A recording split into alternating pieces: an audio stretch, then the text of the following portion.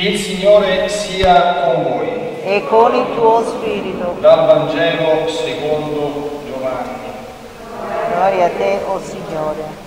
In quel tempo Gesù disse ai suoi discepoli, quando verrà il Paraclito che io manderò dal Padre, lo Spirito della verità che procede dal Padre, egli darà testimonianza di me. E anche voi date testimonianza perché siete con me fin dal principio. Molte cose ho ancora da dirvi, ma per il momento non siete capaci di portarne il peso. Quando verrà Lui, lo Spirito della verità, vi guiderà tutta la verità, perché non parlerà da se stesso, ma dirà tutto ciò che avrà udito e vi annuncerà le cose future. Egli vi glorificherà, perché prenderà da quel che è mio e ve lo annuncerà. Tutto quello che il Padre possiede è mio. Per questo ho detto che prenderà da quello che è mio e ve lo annuncerà. Parola del Signore. Lo diciamo sempre, all'abbondanza. Eh? Come noi. Come lui, bravo. Oh, come mai è sceso lo Spirito Santo? Vediamo un po' cosa fa lo Spirito Santo che scende sugli Apostoli. Che succede? Qual è il compito dello Spirito Santo? Numero uno, prima guarda. Lo Spirito Santo è sceso soltanto sugli Apostoli oppure scende anche su qualcun altro? Anche su qualcun. Anche su, su chi scende? Maria. Maria. Su Maria. Poi? Qualcuno conosce lo Spirito Santo? Qua tra i erano presenti? Nessuno conosce lo Spirito Santo, ci dobbiamo preoccupare. Lo Spirito Santo scende nel cuore di tutti i cristiani, o no? Sì. Giusto? C'è un sacramento che è proprio il sacramento in cui lo Spirito Santo discende proprio come nel giorno di Pentecoste. Non succedono le stesse cose, non scende il fuoco, eh, non si vede il fuoco. Il fuoco ce l'accende nel cuore, ci infiamma l'amore di Dio. Come si chiama il sacramento con cui si riceve lo Spirito Santo? Poi tu hai visto proprio lo show. La Cresima, che riceverete, che è il sacramento che completa la nostra iniziazione cristiana. Quindi dal battesimo, poi c'è la penitenza, poi c'è l'Eucaristia e poi c'è la Cresima. Oh, dalla Cresima in poi, voi che farete con gli altri ragazzi che il giorno della Cresima sparite? Fate le sparizioni, voi sapete che dal cielo ogni tanto fanno le apparizioni, qualcuno vede Gesù, la Madonna, invece i ragazzi oggi sapete che fanno? Fanno le sparizioni, conoscete? Arriva la Cresima, arriva lo Spirito Santo e il giorno dopo spariscono, si dileguano. Voi farete così? Alzate un po' la mano, aspettate il giorno della Cresima per fare la sparizione? Vedo qualche faccia perplessa, magari qualcuno ne sta a fare un pensierino, non devo preoccupare. Tu fai così? Ci stai a pensare? Pensa, va. Meglio di no. Un po'. Chi fa così? Meglio di no. Perché, come poi dirò ai grandi, ci sono due modi di vivere la vita, due soli, eh. Sapete quali sono questi due modi di vivere? Uno vicino a Dio e uno lontano da Dio. Secondo voi come si campa meglio? Eh, ma siamo sicuri? Questa è una domanda retorica. Siamo sicuri, punto interrogativo, che si campa? Tutto si trova sicuro, eh? Adesso lo, lo vedremo con, con, la seconda lettura, che adesso approfondirò un pochino con i grandi, perché ci sono proprio due modi. Secondo voi, oggi, quello che vi vedete intorno, i vostri amici, la gente, è vicina o lontana da Dio? Che vi sembra? A occhio. Tu dici un po' lontano. Alcuni sì, alcuni no. Alcuni sì, alcuni no. La maggioranza secondo voi è vicina o è lontana da Dio? Oh, la maggioranza dicono che è lontana. Sì. Tu pensi che è vicino? Come si fa a capire se una persona è vicina o lontana da Dio? Vediamo un po'. Sei bravo. Si è bravo.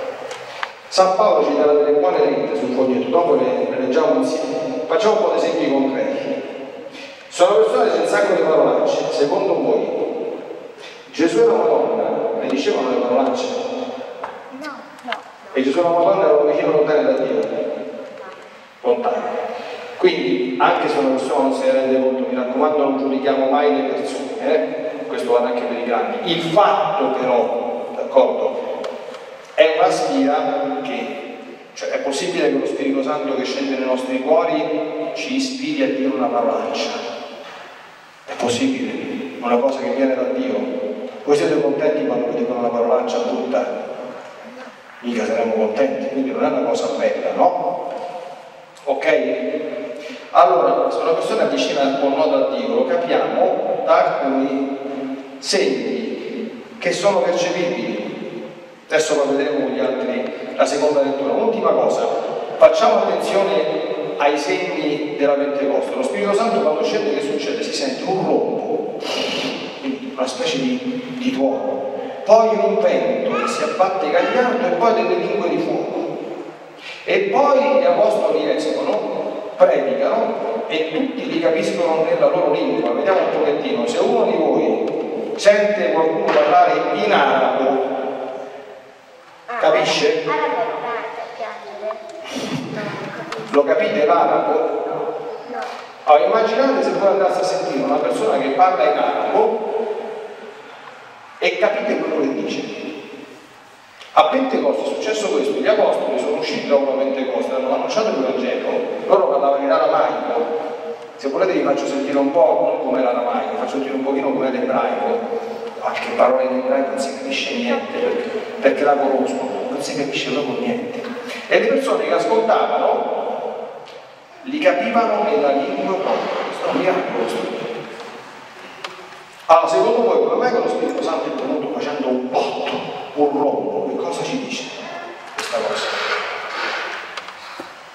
Sarà forte lo Spirito Santo, potente, quindi che è capace di cambiare dal profondo i nostri cuori o no? Che dite voi? Quindi questo è il fragore. Il vento, lo conoscete il vento? Lo, eh, lo conoscete il vento? Che fa il vento quando, quando viene il vento? Vediamo mi fanno studiare già queste cose a, scuola soffia, che cosa fa il vento?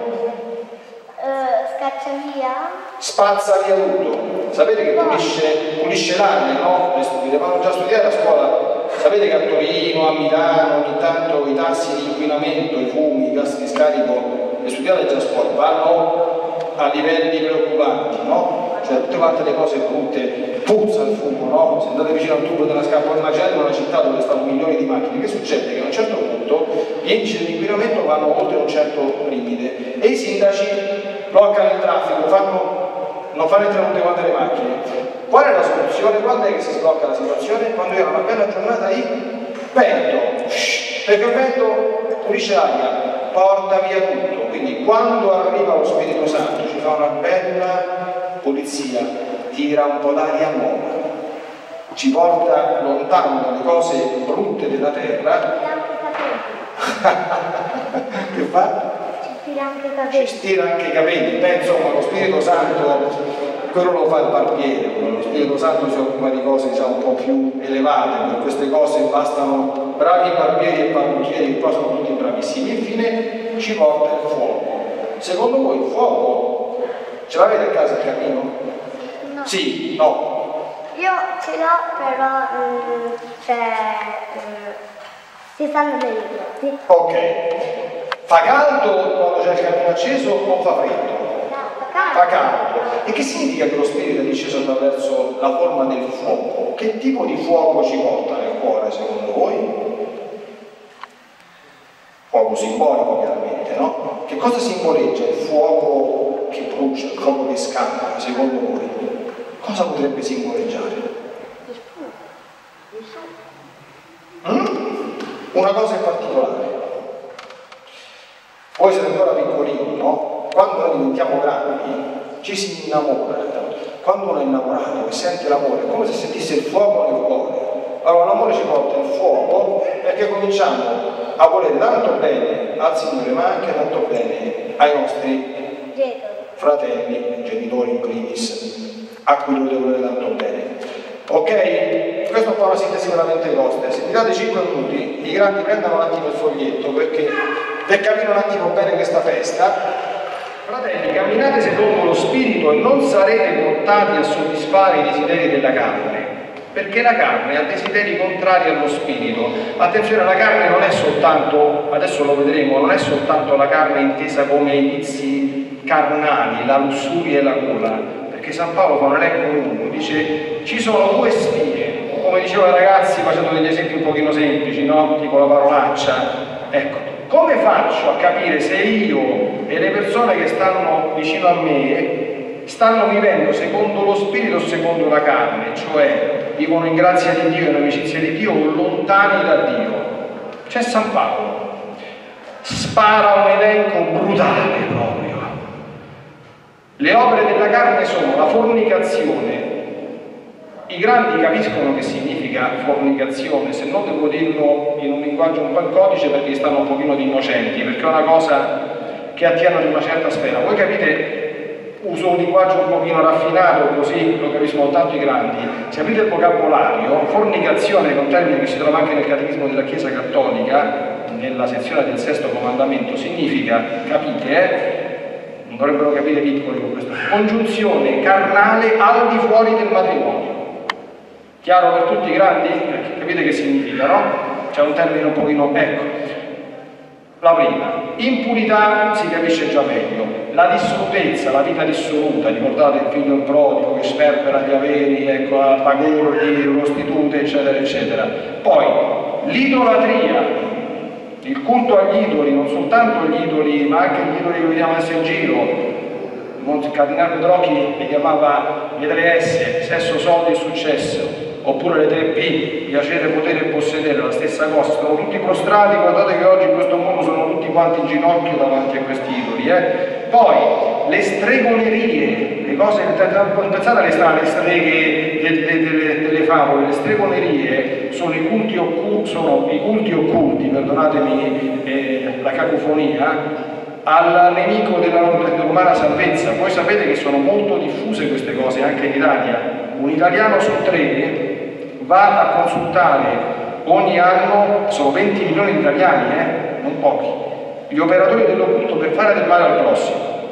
Sono dati ufficiali questi qui, eh? Inimicizie, inimicizie, inimicizie, persone che non si parlano, persone che non si vogliono, nei piccoli centri, nei piccoli paesi, purtroppo a volte queste cose sono diffuse, pensiamo anche noi c'è qualcuno con cui non parlo, c'è qualcuno con cui ce l'ho o che ce l'ha con me, discordia. Quando ieri sera nella messa prevestiva c'era va bene, va bene proprio l'immagine della vita contro Dio, non ci si capisce più tra gli uomini, si è in disaccordo gli uni con gli altri, caos, gelosie, dissensi, divisioni, fazioni, partiti che si scambiano contro, la penso bene io, la pensa bene lui, invidie, ubriachezze, l'alcolismo, Problema anche questo, sovente abbastanza diffuso anche nei piccoli centri. Voi che ci abitate qui sapete se qualche fratello o qualche sorella sta purtroppo eh, implicato in questa brutta schiavitù, in questa brutta dipendenza. Orge, i grandi dovrebbero capire questa cosa, cose del genere. Quindi questa è una sintesi non esaustiva, eh, ma esemplificativa. Quindi queste sono alcune delle cose che attestano che la persona, anche se potrebbe non esserne consapevole, non vive in comunione con Dio. E San Paolo rincara, usando un termine soft, attenzione che cerca queste cose, che per avviso, come ho già detto, chi le compie non erediterà il regno di Dio. Che significa questa espressione, secondo noi grandi? Non ereditare il regno di Dio. In termini prosaici, se Paolo San Paolo si continua ad essere un po' brutale, ha detto chi le compie ah, ne va dritto all'inferno, Padre Pio l'avrebbe detto così che era un pochino più diretto, questo significa però. Ora, quanti fedeli oggi sono perfettamente consapevoli di queste cose? Dobbiamo chiedercelo, no? E dopo tutto quanto sta immondizia, così concludiamo, dice, e chi vive in amicizia con Dio come vive? A respirare un po'. Amore, a Dio e al prossimo. La gioia, se una persona sta nella gioia, io lo leggo in faccia, basta che lo guardi in faccia e ci parli 5 minuti. La pace, la pace profonda, che dipende dal fatto che si sta in pace con tutti, ma soprattutto dal fatto che sto in pace con Dio e con la mia coscienza. Guardate che le persone che vivono lontane da Dio e che cercano di intottirsi, quando vanno a dormire, non stanno tranquille. Neanche i super uomini di successo e di spettacolo che sembra che siano le persone più felici del mondo, non vi fate ingannare dalle apparenze. La pace del cuore non ce l'hanno, lo dico io, che ho avuto modo di vedere più di qualche situazione, fidatevi. Poi, magnanimità, un cuore grande, un cuore generoso, benevolenza, al prossimo si vuole bene, non si vuole male, non si è maligni, non si giudica. Bontà, una grande bontà. Fedeltà, la mitezza, la dolcezza, la pacatezza anche nel dire le cose, e il dominio di sé, la capacità di controllarsi. Pensate all'uso dei social network dove si, si, si vomita qualunque cosa che a uno gli passa per la testa. Dov'è il dominio di sé? Sapete un proverbio concludo, no? Che me lo disse un mio caro padre spirituale, dice, ah no, io devo dire quello che penso, quindi sparo e... Il proverbio dice, lo stupido dice quello che pensa, il saggio pensa quello che dice quello che dice secondo lo Spirito Santo, capite? Ma io dico quello che penso, quindi questo è vero, quindi lo dico, ma sei sicuro che sia una cosa buona dirla? È bene dire tutto quello che pensiamo a chiunque? Voi pensate se, tutti, se tutto quello che pensiamo andasse, come dire, che il nostro Signore non ce, non ce lo proteggesse, che lo sappiamo soltanto noi, pensiamo se tutti quanti sapessero quello, quello, quello che pensiamo, staremo tranquilli? Pensa se io adesso sto, sto, a parlare e il pensiero di qualcuno che non è vostro, eh, in un'altra parrocchia, dice, oh, magari una pianta o un altro come lo stufato, non sarebbe bello vedere questo pensiero, no? Capite? Ecco la grande differenza. Allora noi con queste parole dobbiamo confrontarci perché è molto diverso vivere in amicizia con Dio che non in amicizia con Dio. Per vivere ci vuole lo Spirito Santo, come dicevo ieri, per averci lo Spirito Santo ci vogliono i sacramenti e la preghiera, questo la Chiesa ha sempre insegnato, vero ieri, era vero oggi, era vero sempre. Buona Pentecoste a tutti e siano lodati Gesù e Maria. Sempre sia